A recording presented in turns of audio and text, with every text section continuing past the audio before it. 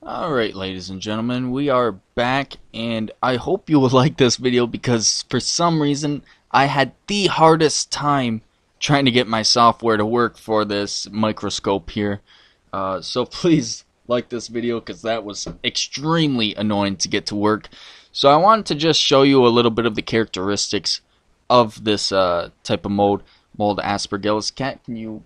Why does he always have to do this? Cat, can you please stop? Thanks, buddy. Uh, so you can see these string-like substances here. That is the hyphae. And if you remember a while back, I made a video. I can't remember which one it is. Where I talked about hyphae.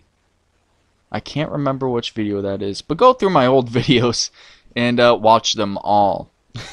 Anyways, you'll probably notice that uh, these don't look green. That's because I have a uh, LED light shining on them so it kind of changes the colors. I can assure you they are green. Uh, this mold is very, very green. But I wanted to show you that string like... You done? And that cat. Uh, please put an F in the comments for Breezy. Because after this video I'm probably going to kill him. Just kidding. Just kidding. Anyways, um, I wanted to show you guys the fruiting bodies of this too. If I can move around here. Uh, this is on a charcoal agar plate, which is why you can see the background is black. Uh, I'm using a charcoal agar plate uh, just to kind of show the contrast. Uh, where was it? I found it earlier and I can't really seem to find them anymore. Where are they? Let's try to go over here. There's some right there. There's actually a good example right here. Uh, let's see if I can get the zoom good on this. Perfect. Now you can see those little balls there. Whoops. Focus, please. Thank you. Those little balls are the fruiting bodies, and that's what drops more spores. Uh, much like, um, you know, mushrooms do. They have their own fruiting bodies, and that's how the cycle continues. Now, I'm uh, recording this on top of the...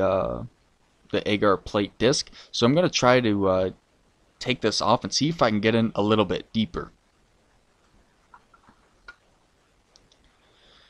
Alright, let me throw this uh, cap along to the side somewhere. And with two hands here, because I don't want to drop my microscope completely in this. Let's see.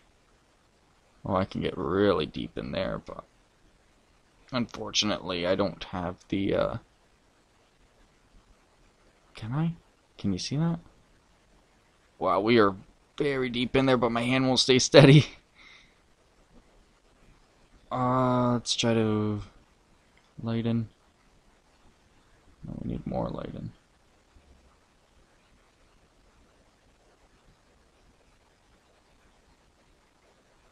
Well, my hand is way too shaky for this. I'm very sorry, guys. I tried to get you in as deep as I could.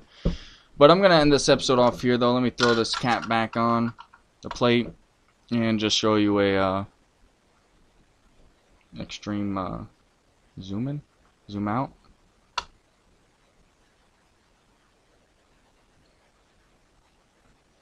Okay. There we go.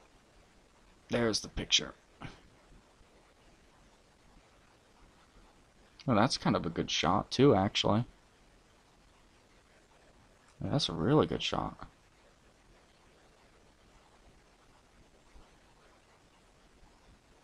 There we go. So I'm going to end this episode off here, guys. If you like this type of content, uh, be sure to like, comment, and subscribe if you want more stuff like this. I do have more agar plates. I could show you red mold next if you're interested in that, or pink mold, um, which can be commonly uh,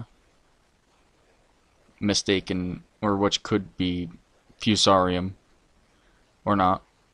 I don't know what I'm talking about. I'm tired. Um, I just got a call for a job interview for next week, so I'm excited for that.